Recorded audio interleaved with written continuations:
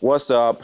My name is Kofi and today's video is about wing tuning. Since the launch of the Chupito, many new wing pilots came into the game. So I thought about what a great opportunity to knock out an educational video about wing tuning. In general, um, physics have more influence on the flying wing versus uh, a quadcopter. That's why so many quad pilots had bad experiences with these types of aircrafts in the past. Oh! Oh! Jeez. So a good mechanical setup is the foundation for the flight controller to control the plane in autonomous and stabilized modes. That's why we get the manual mode dialed in first, so the plane flies beautiful in every return to home situation. Let's get to these crucial steps, right? Step one, servo geometry. This is basically the best servo geometry for most of the wings. This grants the most pitch resolution you can get. The goal with the servo geometry on the flying wing is to have the most deflection on the pitch axis the plane can handle without stalling, right?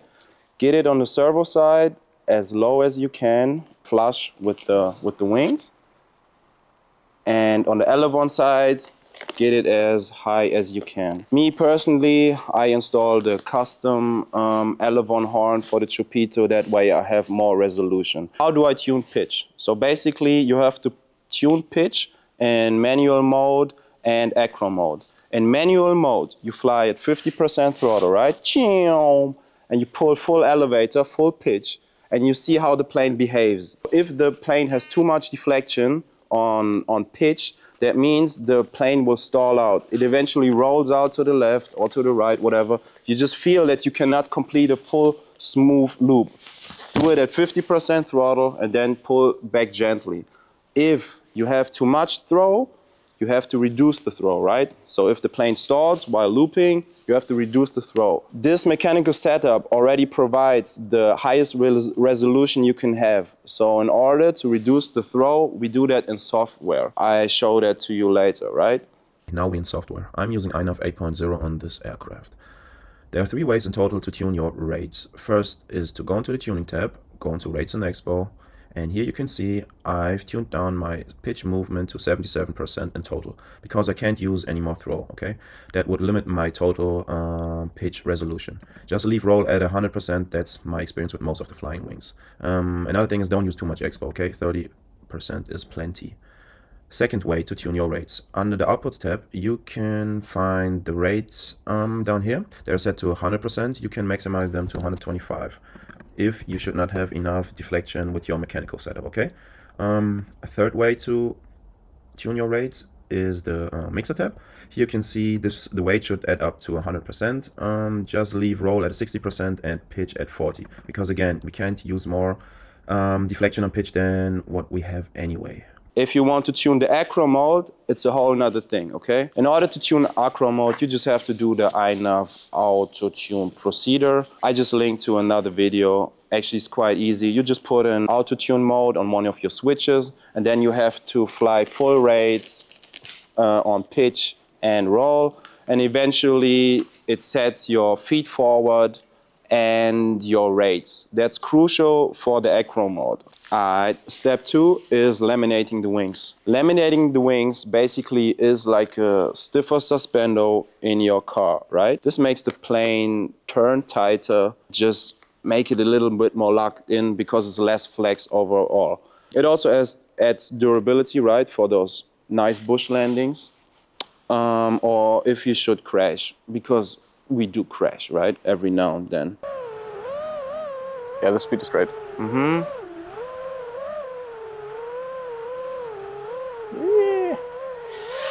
Nice. You got that? Yeah. She. Mm-hmm. Say I can't fly slow. Oh. I think my battery is done again. Okay, yeah, then let's wrap. Oh no, no, no! Oh! Sick yaw spin though. God diggity! Plus it looks cool. Yeah, I love it. It just gives it the shiny look. Um, so how to apply it? I have a little travel iron. You can get it on Amazon for 20 bucks basically where you can set the temperature. Just start with the lowest temperature and then apply it. If you don't want to buy a small pink travel iron to apply the film. You can also just use basic um, packing tape. Just put something around it that makes it stiffer. The foam will hold longer. Step three, CG. So CG is the most important part on the flying wing. If the CG is off, your aircraft will fly like ish. In order to get the CG dialed in, I suggest to put M2 screws in there, right? Because that way you can balance it pretty nice on your fingers and check how the CG is looking. Mine is a little bit nose heavy. You can see it dips to the nose a little bit. Basically, that's the perfect CG for maiden flights. This gives the most stability, the highest percentage of you getting the plane into the air. But eventually, if you progress and learn how to tune these things, you shift the CG back, right? So to, in order to tune the CG perfectly, I advise to put like CG markings, right? I have two markings for the 1500 milliampere LiPo and the smaller LiPo. That way my plane behaves the same every time I fly it. I'm not wondering, hey, why is it so tail heavy today? So yeah, that's what you have to do to get it dial in over time, right? So how do I tune the CG? When it comes down to CG tuning, we're talking about millimeters in general. A nose-heavy CG means more stability. That means more stability on the yaw axis, basically on every axis. Less agility, okay? A nose-heavy CG makes sense for mountain flying, long range, where you want the most stability for your onboard footage. Versus more tail-heavy CG, that means more agility, less stability.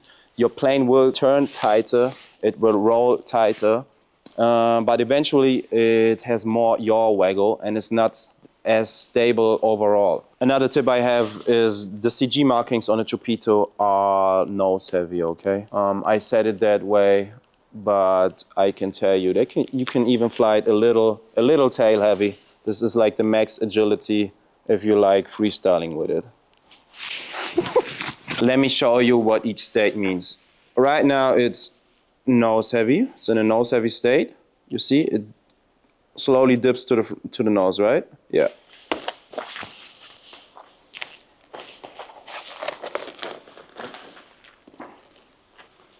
Now it's leveled out perfectly. Three millimeters difference. Pull that shit to the back. Now we're talking tail heavy. If your plane immediately dips to the back, it won't fly, okay? Don't fly like that.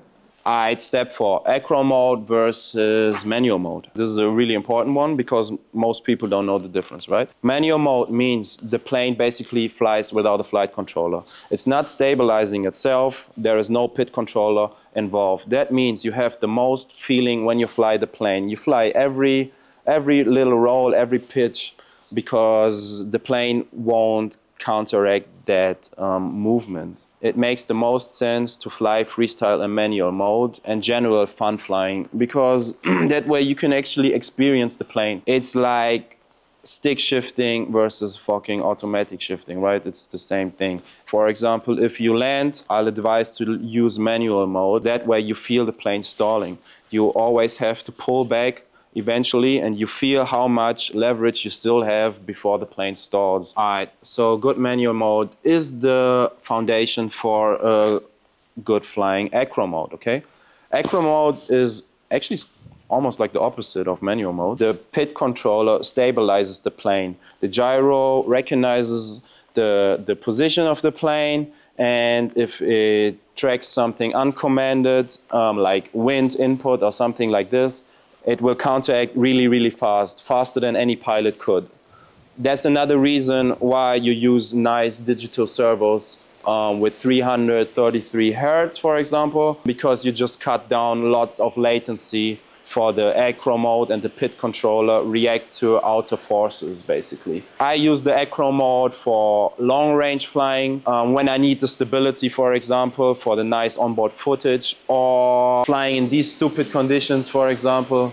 If you want to fly a small ass plane in these conditions, you need a nice tuned PID controller. There's one thing that's like bad in acro mode, right? You don't have that much feeling. Actually, you don't have any feeling at all, right? Because the plane will counteract any movement. if you come in for a landing, for example, and you have to flare in and you pull pitch back, back, back, eventually till you land, you don't pull it back manually, right?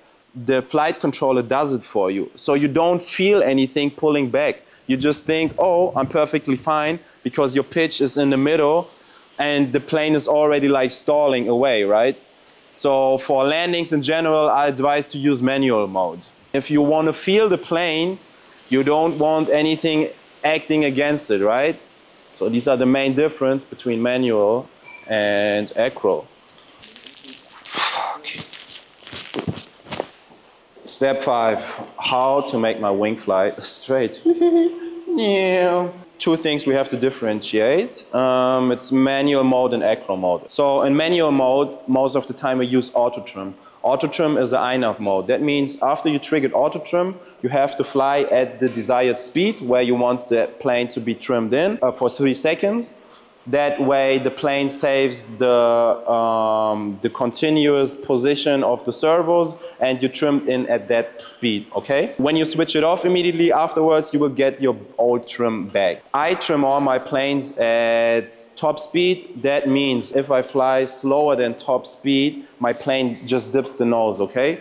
If you trim your plane in at 50% throttle, it will dip its nose beneath 50% throttle and it will lift the nose if you're higher than 50% throttle. We're only talking about manual mode because again, acro mode always trims your servo for the speed you are in so that the plane flies straight no matter what speed, okay? In order to trim the autonomous um, flight modes, you have to do another thing. Basically, you put your wing um, in the position where it would fly. This is crucial for the angle mode of the wing and return to home. You put the wing in the position where it would fly. Basically, every flying wing has a has like a three to five degree up angle. You put it that way, plug in iNav, and then turn all the degrees of each axis to zero. I show that later in the video. Now we back in software, head to the alignment tool.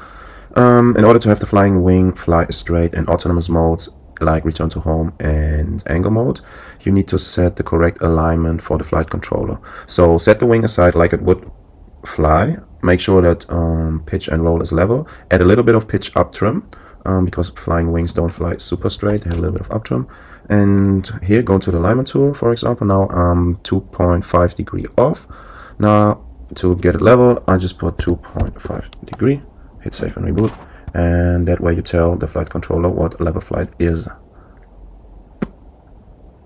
You see? Yeah almost. But you get the point right but that way you show the wing how it should fly straight and that way angle mode will fly straight Step six, PID tuning. Um, PID tuning on a flying wing is not as crucial compared to um, a quad. It's fairly easy actually. Just raise the P-term. P-term is against fast forces like wind for example. Just raise the P-term till the plane oscillates on the pitch axis. For the Chupito, I just put in my um, PIDs. You can use them if you have fast servos, digital servos, 303 hertz, and this servo geometry, okay? So iTerm is against slow force, forces like bad CG, stupid antenna setups. So basically I tune iTerm the following. I just put my wing in 45 degrees angle, raise it to 60% throttle. If it dips the nose, I just put more I term for pitch axis and again, the same for roll. If it rolls over the time either to left or to right, basically if it has error over the time, you raise the iTerm on the specific axes. But don't tune it too much because you will have less feeling on the pitch axis. Only use enough iTerm so that the plane can go at 45 degrees at 60% throttle. Another thing um, I want to add is the filter tuning for wings, okay? I don't know, know much about filter tuning, but the, the man UAV Tech, he got a video where he explains why, what filters to turn off on iNav. So I just put it in description, just do what he does. There's way too much freaking filtering in INAV for a fixed wing. You don't need that much filtering. So if you just lower the filtering in general, the PID controller can react way faster to any outward forces. If you follow these steps, you should have a beautiful bomber If you follow these steps, you should have a beautiful flying aircraft in no time. Um, if you have any questions, let me know. Make flying wings great again. And yeah, that's it.